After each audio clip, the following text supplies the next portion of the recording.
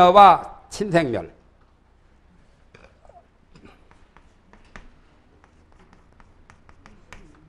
을을 안 달아도 돼요. 그냥 친진여. 또 친생멸. 생멸은 반대말이죠. 저 밑에 가면은 친진여 문, 친생멸 문 그렇게 두 가지로 나오죠. 일심법에서 두 가지가 벌어집니다. 마음 하나 일심에 의해서 어, 친진여하고 친생멸하고 여기다 문자를 붙여가지고 신진여 부분 또 친생멸문 이런 식으로 저 밑에 가면은 설명이 나오죠. 그냥 쉽게 말하면 법자 빼고도 되지요. 일심에 의해서 이문이 형성되죠. 이건 두 가지 이문이라고 합니다. 기신론은 숫자적으로 일신, 이문, 삼대, 사신, 오행, 육념 이렇게 나와요. 일심은 일시법 중생심이고 그 다음에 이문은 진여문, 생멸문이고 그 다음에 또 3대가 나옵니다. 지금. 지금 바로 3대 나, 나왔잖아요. 최상용. 또 네 가지 믿음도 나오고 이 다음에 이게 나와요. 또 다섯 가지 행하는 거. 오행. 오행은 육바라미를 줄여서 다섯 가지 오행으로 했어요. 여섯 가지 생각하는 나무아미탑을 그게 육념 이런 식으로 되는데 심진여와 신생멸 벌써 두 가지가 나왔습니다. 그러나 여기서 주의할 것은 심진여를 밝히기도 했고 밑에 해석문에 보면 그 다음에 또 심진여상을 밝히기도 했어요. 그냥 심진여라고 할 때는 진여의 본체를 말한 거고 그 다음에 상자가 붙었죠. 심진여 이 상, 심진여를 밝히기도 하고 또 심진여 상을 밝히기도 해요. 그 다음에 신생멸을 밝히기도 하고 신생멸 인연상까지 또 밝히기도 해요.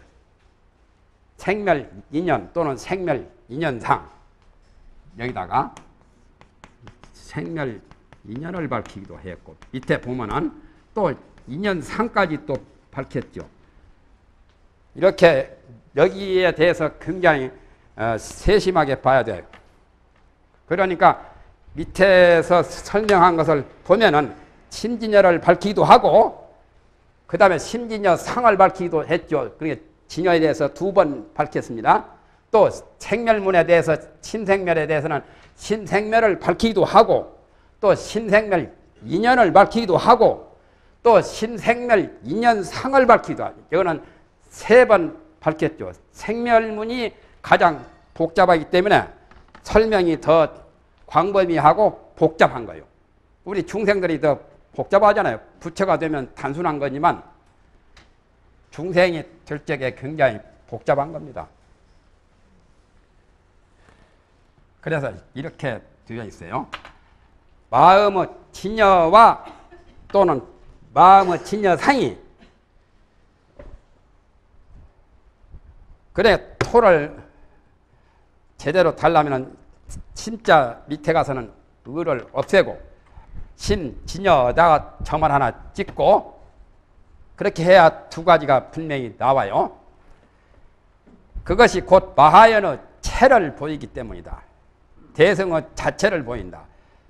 여기 신진여에 대해서도 최상용을 다 보이지만은 그러나 신진여는 신성한 존재로 조금 말을 좀 체제를 달리해서 체만 보이는 걸로 이렇게 되어 있죠.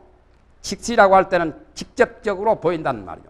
심진여가 바로 마하연의 대성의 본체이기 때문에 그 다음에 이 마음의 이 마음 생멸 인연상이 능히 마하연의 자체와 자상과 자용을 보이기 때문이다. 최상용이 다 나왔죠? 그걸 삼대라고 하죠. 이 어제 말했던 채, 상, 용. 생멸문에서는 채상용을 다 보인다고 했고 진여문에서는 채만 보인다고 했죠.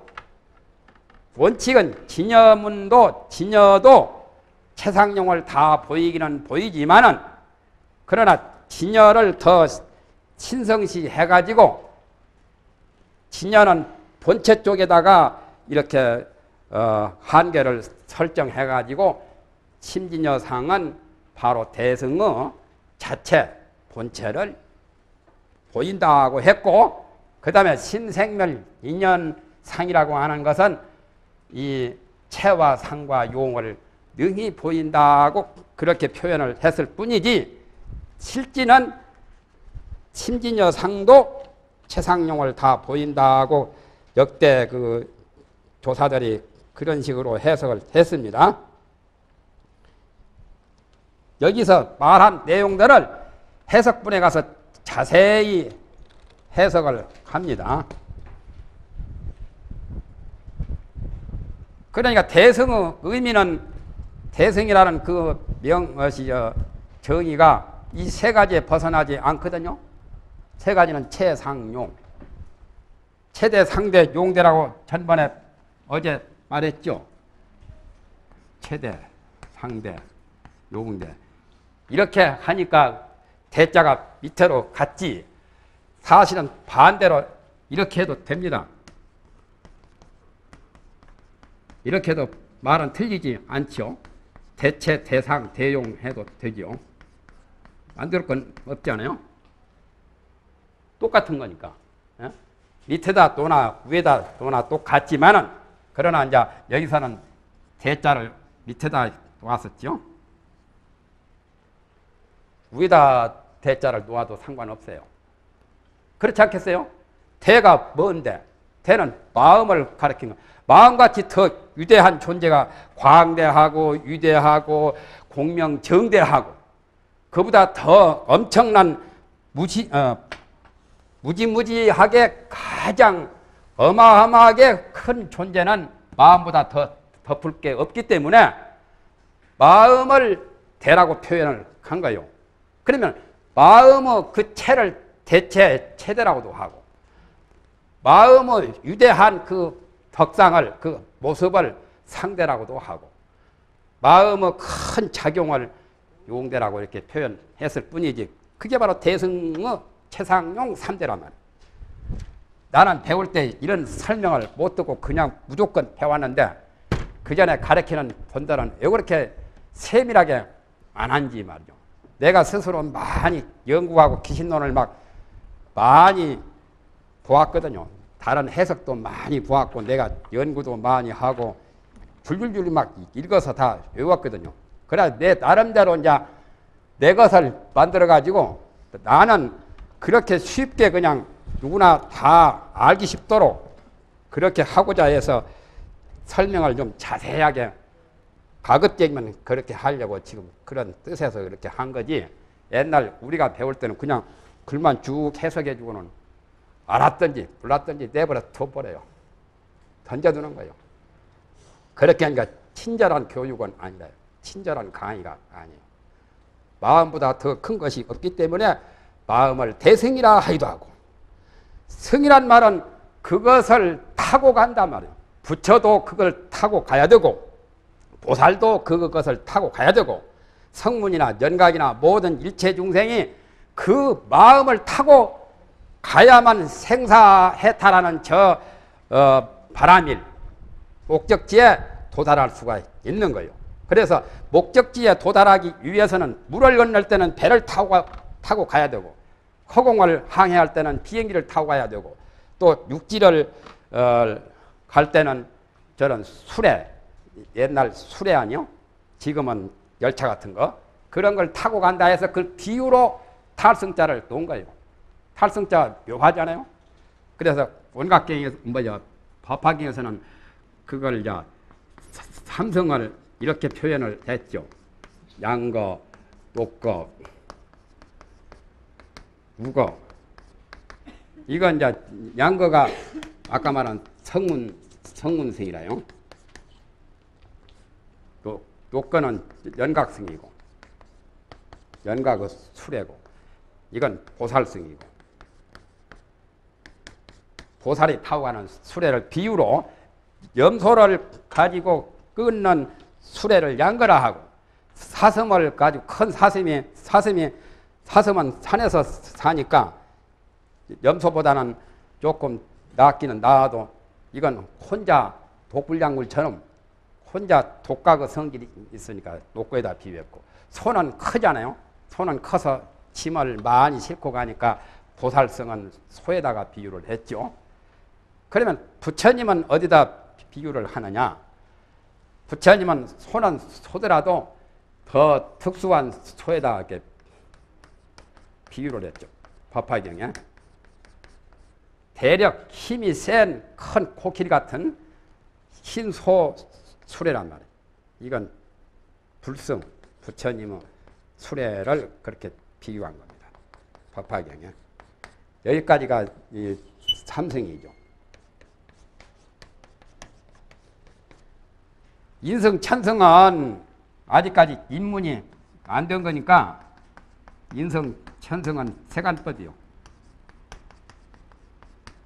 이, 이건 아직까지 생사 윤회를 벗어나지 못한 세간법이기 때문에 여기서는 법화경에서는 출세간법만 말을 하다 보니까 그런 것은 언급을 하지 안 했죠. 이것들은 이제 출세간법이죠, 모두.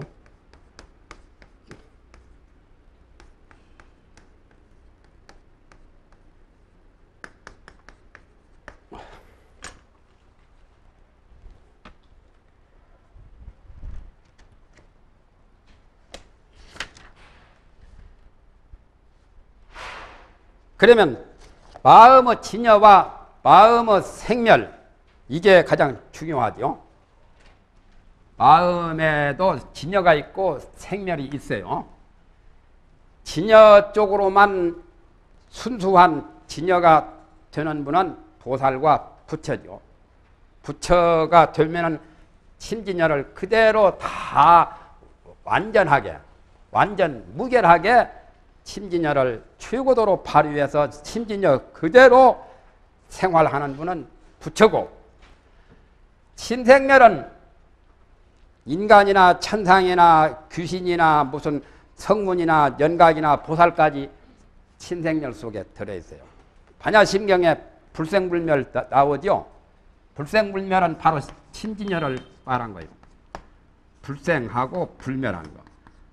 마음이 생기지도 않고 사라지지도 않는 마음의 생멸신, 생사가 없어진 그 자리를 심진여라고 합니다. 그 자리는 순수하고 그 자리는 청경하고 그 자리는 참되고 그 자리는 하나도 달라짐이 없이 언제나 똑같은 어느 때나 어느 장소에나 변함없이 똑같은 거 불변의 진리 또한 허위가 없는 허망이 없는 가장 진실한 법이라 해서 진여라고 하죠. 유교에서는 그걸 중용이라고 표현하죠. 진여란 말을 중용. 중용보다는 진여가 더 낫죠. 신생멸은 그대로가 불생불멸이 아니고 심생, 마음이 생기고 또 마음이 사라지는 거 이런 것들이 이제 심생멸이니까 우리 중생은 생멸문 속에서 허우적거리죠. 그래서 생멸문이 더 복잡하다네요. 그래서 이걸 염정으로 표현합니다. 이걸 가장 청정한 걸로 말하고 이건 오염된 걸로 말하죠. 신생멸은 묘하죠. 그러면은 신진여는 물에다 비유를 하면은 뭐와 같으냐? 물의 습성, 물은 젓는 습성이 있잖아요. 이게 신진여와 같은 거요. 비유를 하자면 이게 바로 신진여고 또 물. 물로 뭐겠어요? 신생멸은. 파도지 뭐. 우르 파도와 같은 것은 바로 신생멸이요.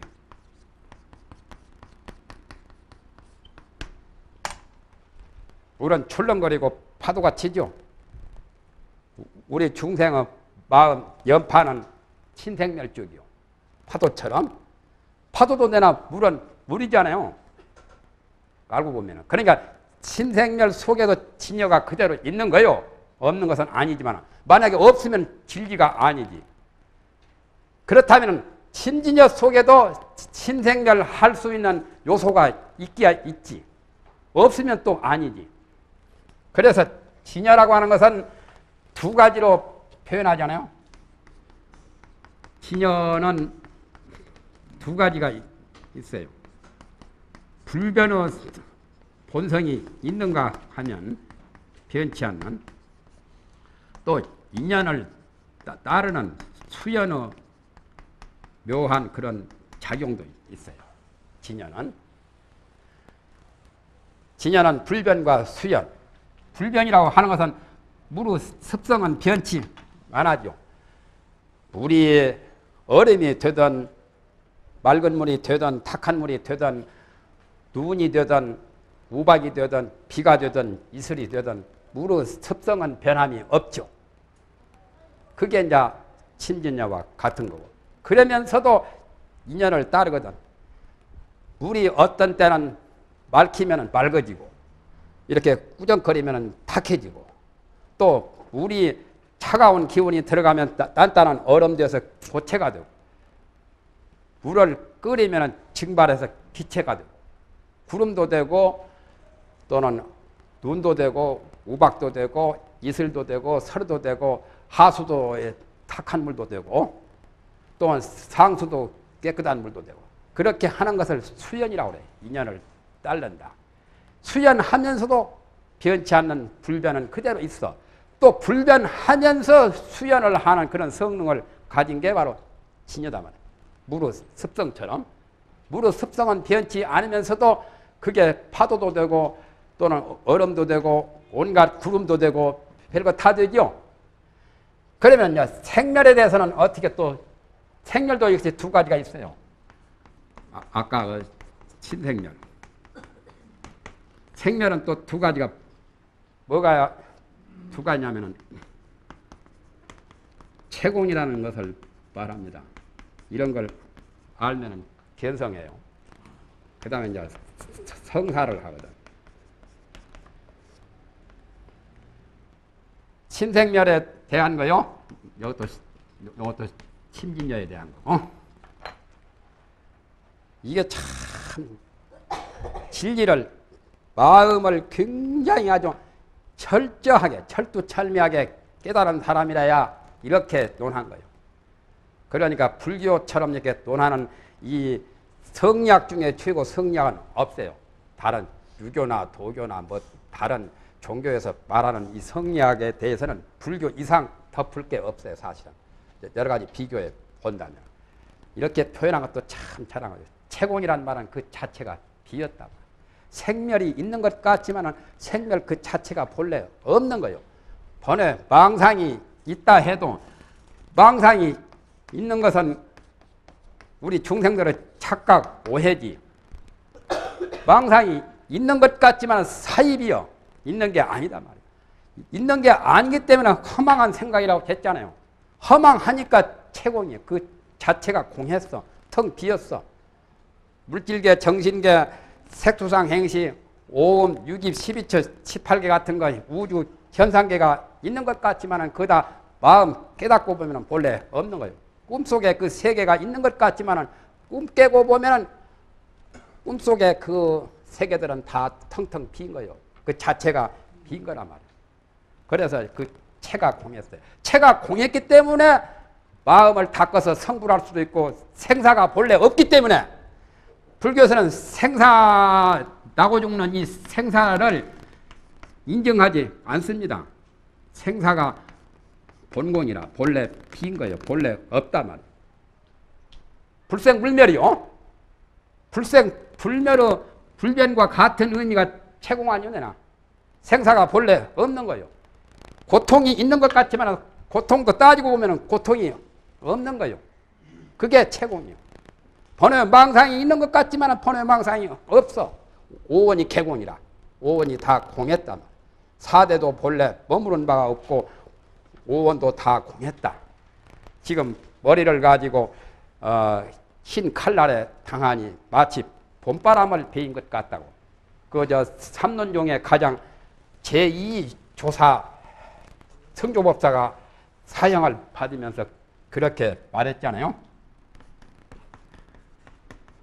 성조법사 그것도 확철 대오를 했기 때문에 그런 말을 한 거예요. 이거 보세요. 4대 본무지요. 4대가 본래 머무림이 없고 오원 역시공이라 오원도 또한 공했다.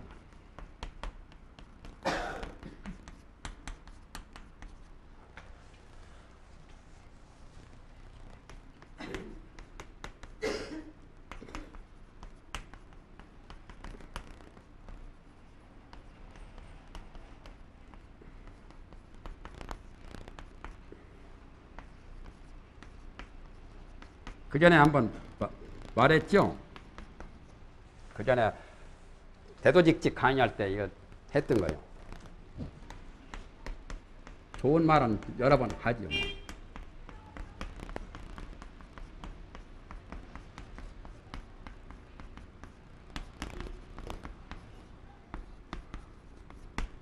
청조법사가 사형을 받으면서 사형장에서 이렇게 치를 읊었어요. 4대는 지수화풍 4대. 나의 몸을 구성하는 물과 불과 흙과 바람. 4대도 본래 머무는 것이 없다. 본래 있는 게 아니다. 오원도 역시공이라 물질계, 정신계, 육체와 영혼, 오원도 또한이 빈 거란 말이야. 지금 머리를 가지고 흰 칼날에 대하니 그러니까 사형을 받으니 유사 참춘풍이라 마치 봄바람을 베이는 것 같다. 성산문이 사육신으로 대단한 분이지만 성산문은 그 죽을 때 사형 집행할 때 치진 게 있죠. 뭐라고 했냐면 격고 최인명하니 북을 쪄서 사람 목숨을 재촉하니 석양의 강원의 아, 석양의 이족사라 지금 석양이던데 해가 곧 떨어지려고 한다. 황천에 무객점하니 황천에 여, 였나 저승세계 황천에는 여관집도 없단 말이지. 금야에 숙수가 오늘 밤에는 누구 집에 어느, 어느 집에 잠을 자겠노? 그렇게 말하다고 저다고 대조적이죠. 또 예수님을 말해서는 안 되었지만은 주여 나를 버리시나이까 그런 그런 표현하고 이런 표현하고 한번 대조해 보세요. 어떤 어떻게 되는가? 바로 최공호 도리를 제대로 체득한 깨달은 그 시가 만고 절작이죠. 저렇게 읊혀야 돼요.